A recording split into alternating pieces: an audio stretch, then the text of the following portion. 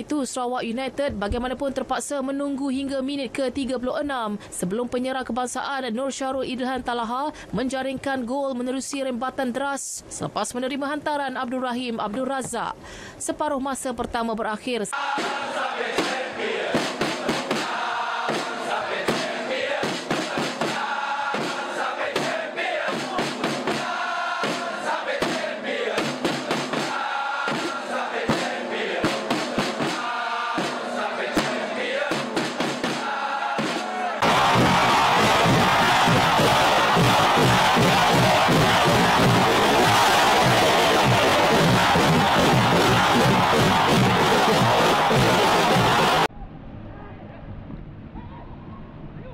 Syahrul membuka untuk Canturu. Cantik umpanan itu dan itu dia gol.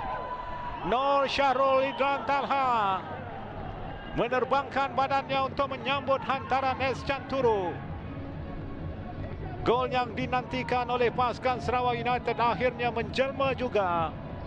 Akhirnya kemantapan G. Yuganes terlerai pada minit ke-35 ataupun lebih tepat pada minit ke-36 untuk Sarawak United menyamakan kedudukan satu sama melalui Manyo. Jaringan sebegitu rupa tandukan-tandukan yang menarik dari Nur Syahrul Idlan Talha sudah lama tidak dapat kita saksikan.